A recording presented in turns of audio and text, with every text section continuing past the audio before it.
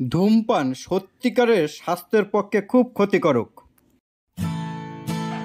আমরা চললাম সাসারাম। আজ আমরা দেখে নেব সাসারামের প্রথম দিনে আমরা কি কি পেয়েছিলাম। প্রথমেই পেয়েছিলাম শেরশাশুড়ির টম তারপরে আমরা চলে গিয়েছিলাম ঝর্ণাগুলিতে। প্রথম এই ঝর্ণাটি হলো মাঝের কুণ্ড ঝর্ণা। এরপরে আমরা চলে এলাম এই ধোয়াকুণ্ড ঝর্ণায়।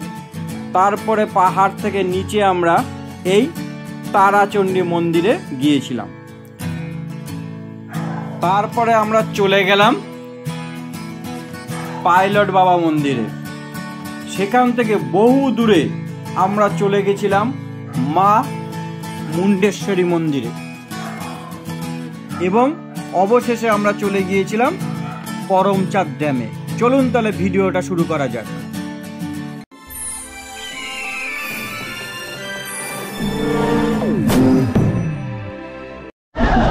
হাওড়া কালকা নেতাজি এক্সপ্রেস ধরে আসারাম যাচ্ছি। এই ট্রেনটি সকালে পৌঁছায় ছটা কুড়ি নাগাদ। অর্থাৎ রাত্রি সফর করে খুব সুন্দরভাবে সকালবেলা আমরা সাসারাম পৌঁছে যেতে পারব। এবং আপনাদের সঙ্গে আবার দেখা হবে সকাল সাসারাম ভ্রমণের জন্য। তিন রাত্রি, দুদিন যথেষ্ট। সকাল সকাল সাসারামে পৌঁছেই প্রথমেই চেষ্টা করবেন গাড়ি বুক করে নেওয়ার জন্য। দেখতে পাবেন স্টেশনের বাইরেই বহু গাড়ি। দু ঘণ্টা ট্রেন লেট থাকলেও আমরা অবশেষে সাসারাম এসে পৌঁছালাম। আমরা এখন দুটো দিন এখানেই কাটাবো। এখানকার বিভিন্ন সাইট সিনগুলো দর্শন করব। চলুন আমাদের সাথে আপনারাও এই দুটো দিন আমাদের সঙ্গেই থাকুন। আমরা এবার যাচ্ছি। আমরা এবার হোটেলের দিকে এগোচ্ছি। চলুন। আমরা গুটি গুটি পায়ে এগিয়ে যাচ্ছি স্ট্যান্ড থেকে সামনের দিকে। আমরা এখন হোটেলের দিকে যাব। তারপরে হোটেলে ফ্রেশ হয়ে কিছুটা পরে আমরা বেরিয়ে পড়ব সাইট সিনের উদ্দেশ্যে। আমাদের টিমে আমরা মোট বড় আছি ছজন এবং দুটো পুচকি আছে। চলুন, সামনের দিকে এগিয়ে চলি।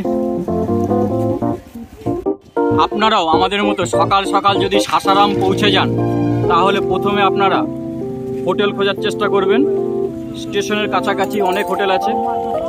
সেখানে গিয়ে একটু ফ্রেশ হয়ে ব্রেকফাস্ট করে নিয়ে তারপরে গাড়ি বুক করে বেরিয়ে পড়ুন সাইট সিনের উদ্দেশ্যে।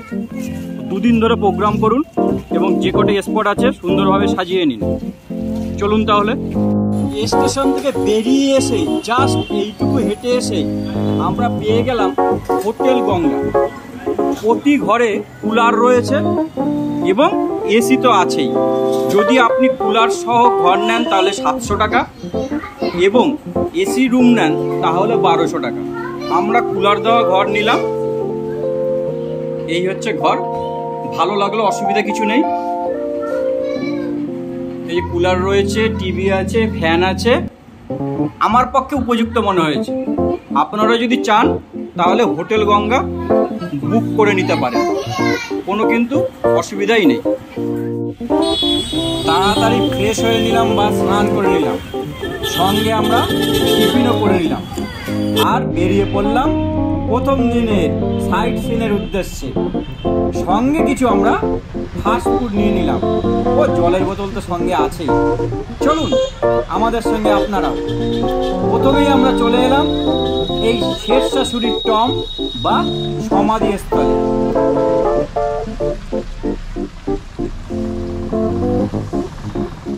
আমরা এখন শেরশাশুড়ির টমে যাচ্ছি।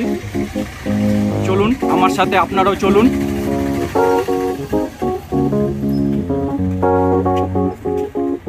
দেখুন, এবার দেখুন কি অপূর্ব দৃশ্য।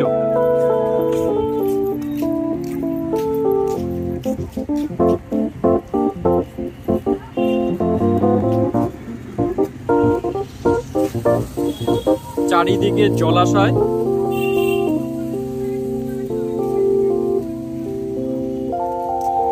তার মাঝখানে শেরশাশুড়ির টম। শেরশার মৃত্যুর আগেই এই স্থানটি চিহ্নিত করে রেখেছিলেন। দেখতে দেখতে আরও বিস্তারিত বিবরণ আপনাদেরকে আমি জানাব। চলুন তাহলে এই দরজা দিয়ে ভিতরে যাই। এখানে প্রবেশ এন্ট্রি বলে কিছু নেই ফি আমরা আস্তে আস্তে গুটি গুটি পায়ে এগিয়ে চলেছি।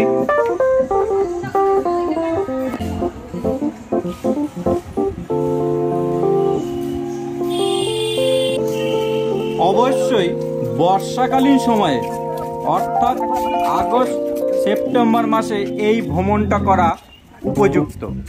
কারণ সেই সময় আপনি জলপ্রপাত বা ঝর্ণাগুলিতে অনেক জল পাবেন এবং দেখতে আশ্চর্যজনকভাবে খুবই ভালো লাগবে।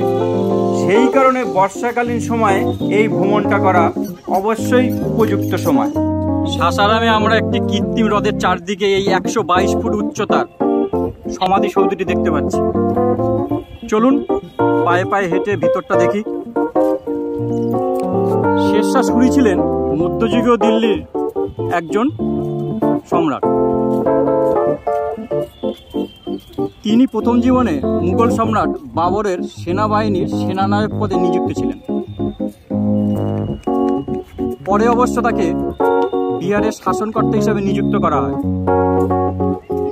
ওনার জন্ম চোদ্দোশো ছিয়াশি সালে এবং মৃত্যু ঘটেছিল বাইশে মে পনেরোশো পঁয়তাল্লিশ।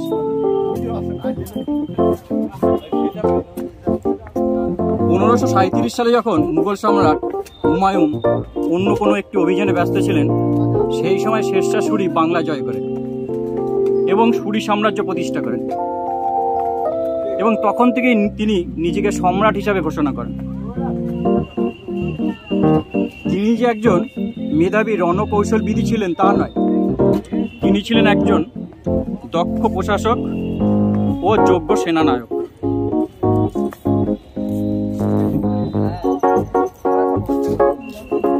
পনেরোশো চল্লিশ থেকে পনেরোশো পঁয়তাল্লিশের সময়কালে এই পাঁচ বছর তিনি এক সুগঠিত নাগরিক এবং সামরিক প্রশাসনের এক বিশেষ মাথা হয়ে উঠেছিলেন। তিনি প্রথম রুপিয়া নামক মুদ্রার প্রচলন করেন। তিনি মোহর নামে একশো উনসত্তর গ্রেইন ওজনের স্বর্ণ মুদ্রা ও দাম নামে তাম্র মুদ্রাও চালু করেন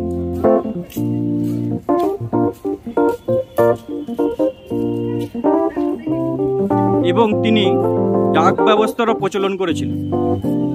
এবং এই পাটনার তিনি পুনঃসংস্কার করেন। এবং কথিত আছে যে, তিনি ভারতের কোনো এক জঙ্গলে খালি হাতে একটি বাঘ মেরেছিলেন। গ্র্যান্ড ট্রাঙ্ক রোড, তারই কীর্তি। ভারত পাকিস্তানের আজ প্রধান রাস্তার মধ্যে এটি একটি। এবং যে স্বর্ণ চতুর্ভুজ, সেটা তার অনেকটাই চিন্তা ভাবনার ফলপ্রসূ। পনেরোশো সালে চান্দেল রাজপুতদের বিরুদ্ধে যুদ্ধের সময় কালিঞ্জর দুর্গে বারুদের বিস্ফোরণে শেরশাহ সুরির মৃত্যু হয়। তার মৃত্যুর পর জালাল খান ইসলাম শাহ নামে যে ব্যক্তি ছিলেন, তিনি সুরি সাম্রাজ্যের সিংহাসনে বসলেন। এবং এই সাসারামে এই যে চারিদিকে আমরা যে হ্রদটি দেখতে পাচ্ছি, এই কৃত্রিম হ্রদের মাঝখানে তিনি এই একশো বাইশ ফুট উঁচু সমাধিসৌধটি বানান। তিনি যখন জীবিত ছিলেন, তখন কিন্তু এই জায়গাটিকে তার সমাধিসৌধ করবেন বলে ঠিক করেছিলেন। এবং তখন থেকেই এর কিছুটা চিন্তা ভাবনায় এর গঠনশৈলীতে মন দিয়েছিলেন। এবং তারপরে তার পুত্রই বাকি নির্মাণ কার্য শেষ করেছিলেন।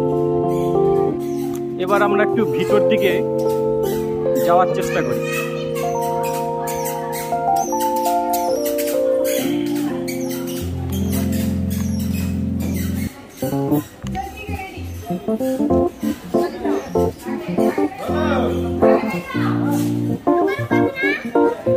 আমরা এর ভিতরে পাবো শেরশাহ সুরির সমাধিসৌধ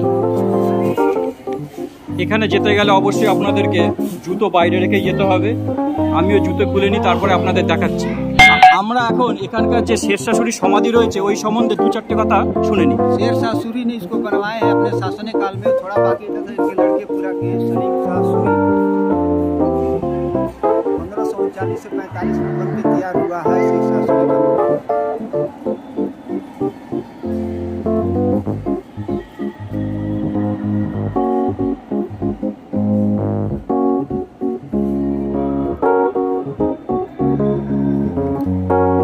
যে সমাধিসৌধটা দেখতে পেয়েছি, এটা হচ্ছে ইন্দো ইসলামিক স্থাপত্য।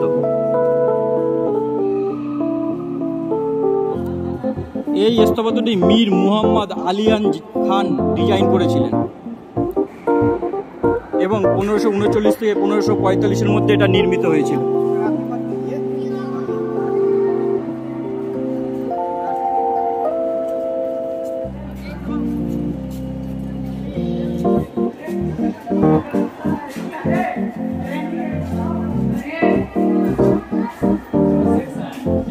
শেরশাশুড়ির টম বা সমাধি থেকে বেরিয়ে চলেছি।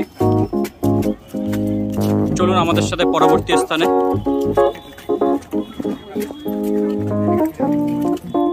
হ্যাঁ আগে এখানে টিকিট কেটে ঢোকার বন্দোবস্তই ছিল। কিন্তু আজকে যে আমরা গেলাম, এখানে কিন্তু আমাদের টিকিট লাগল না। শেরশাশুড়ির সমাধি থেকে বেরিয়ে আমরা তারাচণ্ডী মন্দিরের দিকে এগিয়ে চললাম। এটি একটি শক্তিপীঠ নামে কথিত রয়েছে। চলুন মন্দিরে যাই। ওই দূরে তারাচণ্ডী মন্দির দেখা যাচ্ছে। মন্দির চত্বরে ঢোকার আগে ডান দিক বাদিকে অনেক দোকান দেখতে পেলাম, যেখানে পূজা সামগ্রী বিক্রি হচ্ছে। সেখানে অনেক দোকানগুলোতেই হাত ধোয়ার জন্য জলের ব্যবস্থা রয়েছে। এবং জুতা রাখিবার সুবন্দোবস্ত আমাদের চোখে পড়ল। তাই আমরা গুটি গুটি পায়ে প্রবেশদ্বার দিয়ে ভিতর দিকে প্রবেশ করলাম।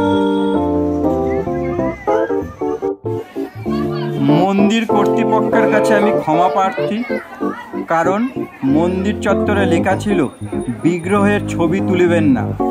তা সত্ত্বেও আমি একটু গোপনে বিগ্রহের ছবি তুলেছি।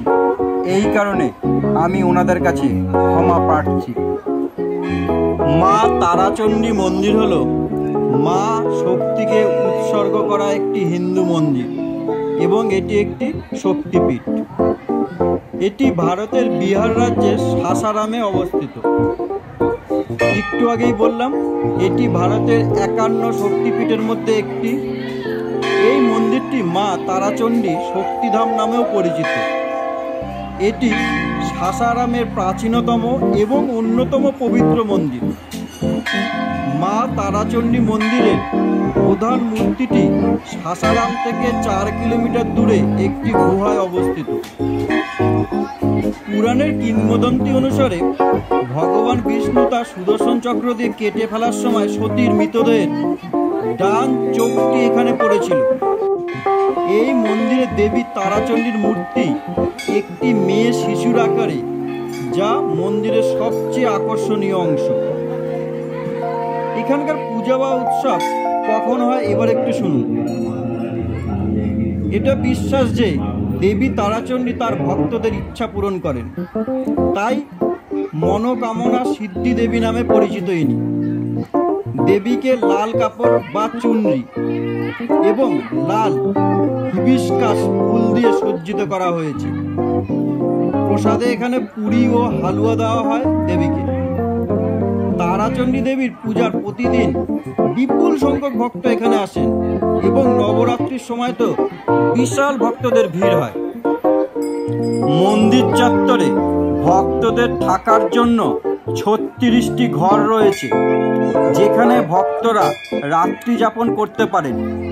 এছাড়া আরেকটি জিনিস লক্ষ্য করলাম, যে প্রবেশদ্বারের মধ্যে মহিলা ও পুরুষদের আলাদা আলাদা প্রবেশদ্বার রয়েছে, যা আমাদের কাছে সত্যি খুবই ভালো লাগল।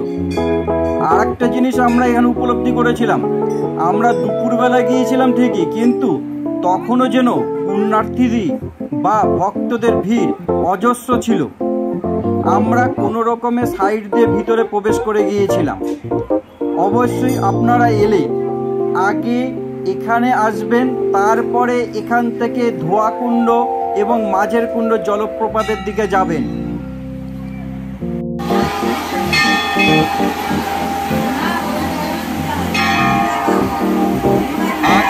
এখানে বলি প্রথার প্রচলন ছিল।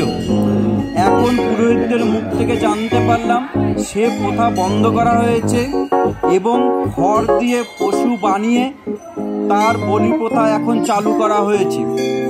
এখানে অনেক যজ্ঞকুণ্ড আমাদের চোখে পড়ল, যেখানে বহু মানুষ ঘিরে ধরে যজ্ঞ করছেন।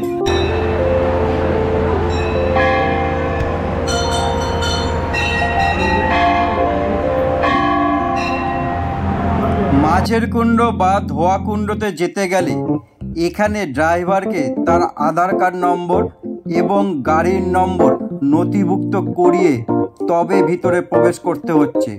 কারণ এই জায়গাটি বন দপ্তরের আয়তাধীন এই যে সামনে আমরা যে বাড়িটা দেখতে পাচ্ছি, এই বাড়িটা হচ্ছে ব্রিটিশদের সময়কার তৈরি এখানে তারা এসে শিকার করত। এখানে ইংরেজরা শখে আসতো এসে এখানে তারা অবস্থান করে, তারা শিকার করত। সত্যি অপূর্ব। সত্যি সত্যি, দারুণ দারুণ।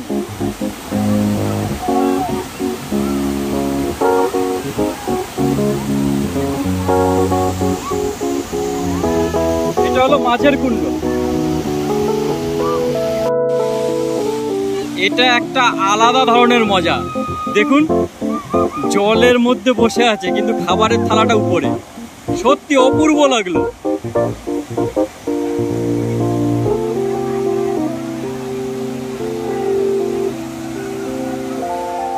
কষ্ট করে এলাম ঠিকই, কিন্তু দেখে সার্থক হলাম।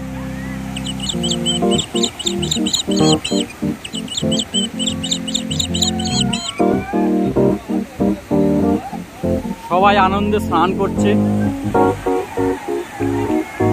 একটু জুম করে দেখি।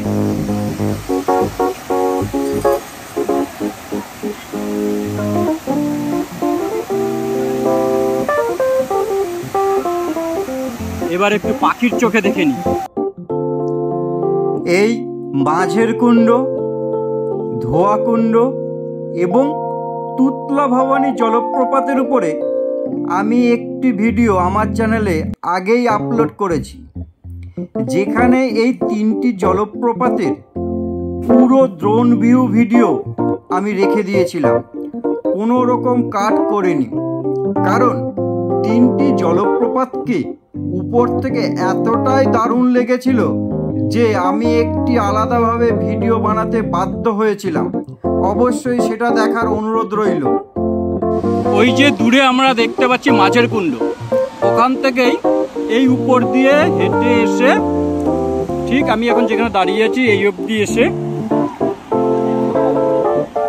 এই সরু একটা কালভার মতো ব্রিজ রয়েছে।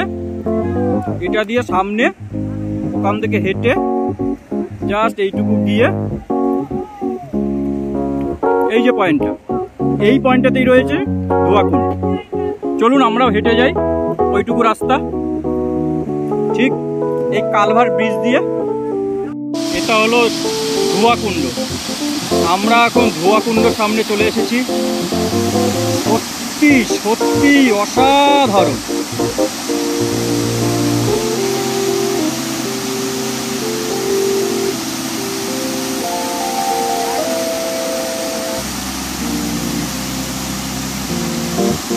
মাঝের কুণ্ড থেকে ধোয়া কুণ্ডর দূরত্ব হাঁটা পথে এক কিলোমিটারের মতো।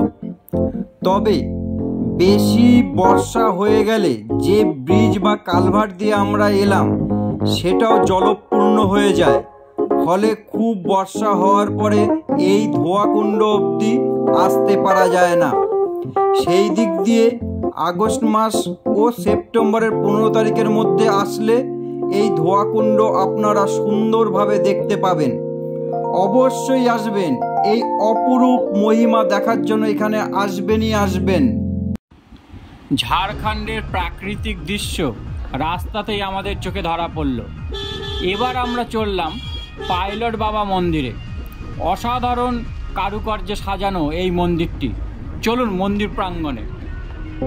আমরা সাসারামে দুটো দিন কাটিয়েছিলাম। প্রথম দিনের উপর করা আজ আমার এই প্রথম ভিডিওটি আপনারা দেখতে পাচ্ছেন। এবং দ্বিতীয় দিনের উপরে আমি একটি ভিডিও সামনেই আপলোড করতে চলেছি। অবশ্যই ওই ভিডিওটিও দেখার অনুরোধ রইল আপনাদের কাছে। অবশ্যই ভালো লাগলে আমার ভিডিওটি বন্ধুদের মাঝখানে শেয়ার করুন এবং একটা লাইক অবশ্যই দেবেনই দেবেন। আর যারা এখন আমার চ্যানেল সাবস্ক্রাইব করেননি, অবশ্যই সাবস্ক্রাইব করার অনুরোধ রইল। এখন আমরা রয়েছি পাইলট বাবার মন্দিরে। পাইলট বাবা বলতে ইনি একজন কর্মজীবনে পাইলট ছিলেন। দু হাজার তিন সাল থেকে এই মন্দিরটি নির্মাণ কাজ শুরু করেন তিনি। এবং তিনি চিন্তা ভাবনা করেছিলেন দু একুশ সালের মধ্যে এই মন্দিরটি শেষ করে ফেলবেন। কিন্তু তার ভক্ত এবং নিজের ইচ্ছেতে তিনি মন্দির প্রকল্প আরও বাড়িয়েই চলেছেন। এবং বর্তমান যা পরিস্থিতি দু হাজার চব্বিশের আগে এর পুরোপুরি কাজ সম্পন্ন হবে না। এখানে দেখার মতো সব থেকে বিশেষ আকর্ষণ হলো, সামনেই গেটে থাকা বিশাল আকৃতি এই শিব মূর্তি এবং পিছন দিকে রয়েছে একটি গৌতম বুদ্ধের মূর্তি। ও গৌতম বুদ্ধের মূর্তির সামনে একটি গর্ভগৃহ আকারের মন্দির বা ঘর রয়েছে, যার ভিতরে গৌতম বুদ্ধের বিভিন্ন কথা বিভিন্ন মূর্তির মাধ্যমে তুলে ধরা হয়েছে। এবং মন্দির প্রাঙ্গণের ভিতরে ঢুকে আমরা বিভিন্ন কারুকার্য করা বিভিন্ন দেয়ালগুলি দেখতে পেয়েছিলাম। ও, আমাদের হিন্দু জগতের যত দেবদেবী আছে, সবাইকেই মনে হয় আমি দেখতে পেলাম। পাইলট বাবা মন্দির থেকে আমরা বেরিয়ে এবার চললাম মা মুন্ডেশ্বরী দেবীর মন্দিরে। রাস্তাটা সত্যি অসাধারণ এই মা মুন্ডেশ্বরী মন্দির একটি পাহাড়ের চূড়ায় অবস্থিত রাস্তায় যেতে আমাদের অনেকটা সময় লেগে গেল মেন গেটের সামনেই অনেকগুলি পূজা সামগ্রীর দোকান আমরা দেখতে পেলাম একটি দোকান দেখে আমরা দাঁড়িয়েও পড়লাম बीस रुपये का मिलेगा बीस रुपये का मिलेगा नहीं देखिए सौ का हो जाएगा अस्सी का अब जैसा प्रसाद लेंगे उसी पचास के बाद साठ होगा इक्यावन का है एक सौ एक का है ओके कौन सा ঠিক আছে তাহলে দেখলেন এখানে অনেকগুলো দোকান পাবেন ঠিক আছে পঞ্চাশ থেকে একশো থেকে দেড়শো বা দুশো টাকায় আপনারা প্রসাদ নিতে পারবেন অবশ্যই আসবেন একটা নারকেল দিচ্ছে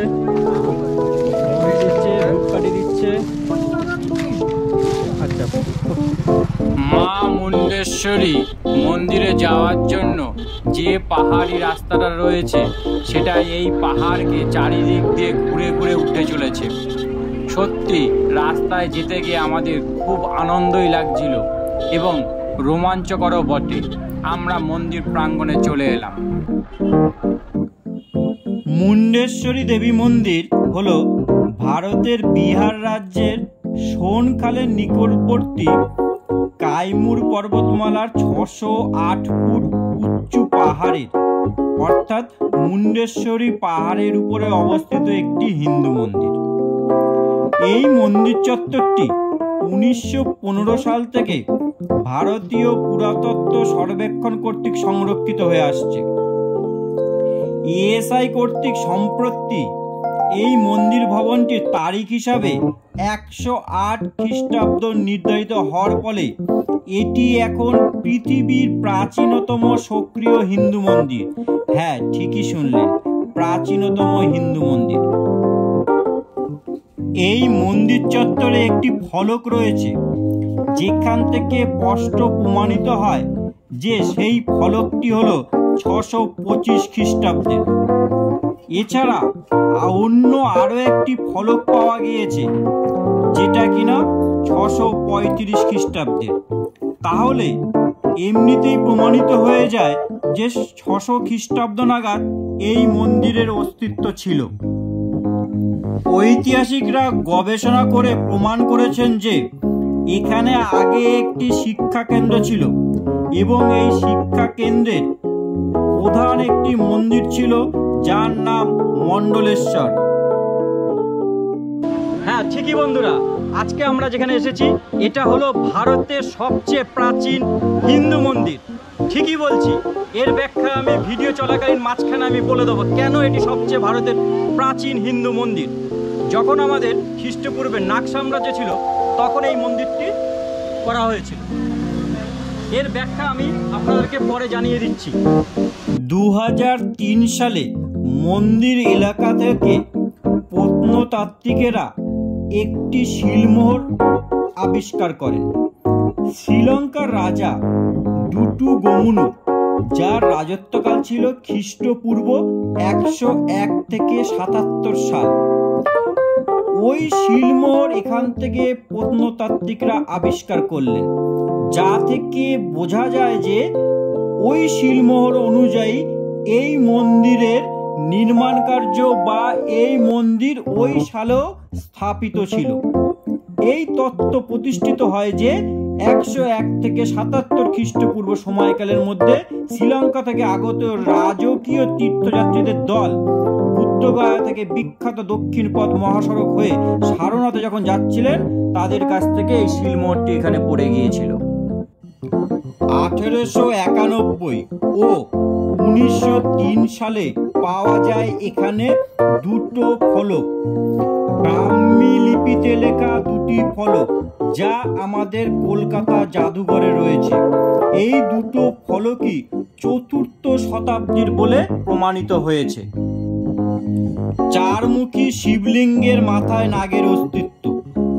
গণেশের উপর নাগজনু বিশিষ্ট মূর্তি ভারতের কোথাও নেই। তাছাড়া পাহাড়ের আশেপাশের ভাঙা অংশ নির্দেশ করে।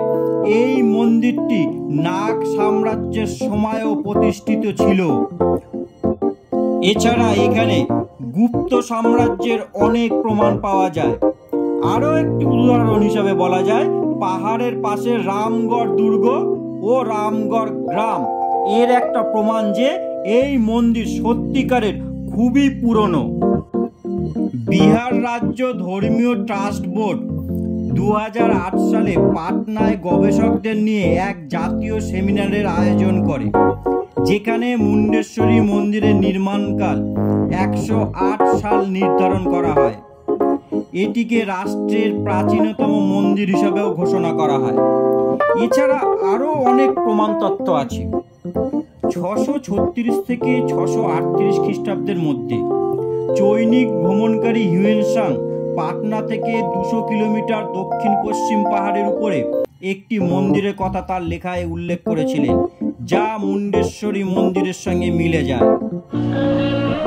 আমি যখন স্কুলে পড়তাম, তখন কোনো এক সময় জানতে পেরেছিলাম বিহারের পাটনা বা বিহারের কোথাও রয়েছে ভারতের প্রাচীনতম হিন্দু মন্দির তখন থেকেই আমার মাথায় ছিল আমি এই মন্দিরে জীবনে একবার যাবই যাব এবং খুঁজতে খুঁজতে এর সন্ধানও পেয়ে গিয়েছিলাম যা আজকে আমরা এখানে এসে দেখতে পেলাম इससे क्या होता है इससे माता जी का मनोकामना रक्षा है ওকে ढकी है দেখুন এইখানে এনারা একটা ধাগা বেঁধে দেন তাতে নাকি মনস্কামনা পূর্ণ হয় তাহলে আমরাও সেখানে বাঁধছি আপনারাও এখানে আসলে অবশ্যই বাঁধবেন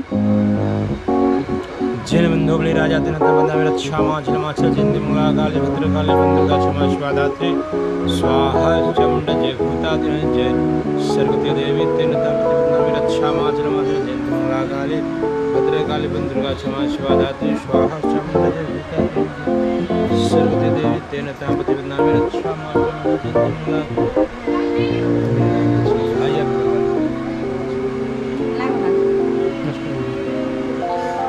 আপনারাও এখানে বাঁধবেন, অবশ্যই। এবার আমরা চললাম করমচাঁদ ড্যামের দিকে। করমচাঁদ ড্যামে আমাদের যেতে যেতে সন্ধ্যা হয়ে গিয়েছিল, তাই বেশি সময় কাটাতে পারিনি। তবে এখানকার সূর্যাস্ত আমাদের খুব মনে ধরে গিয়েছিল। আর আমার সাসারামের উপর করা দ্বিতীয় ভিডিও আমি সামনেই আপলোড করতে চলেছি। সেটিও সবাইকে দেখার অনুরোধ রাখলাম।